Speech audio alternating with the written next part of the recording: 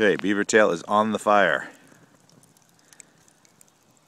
Gotta let it cook up a little bit, peel it, cook it a little in a fry pan.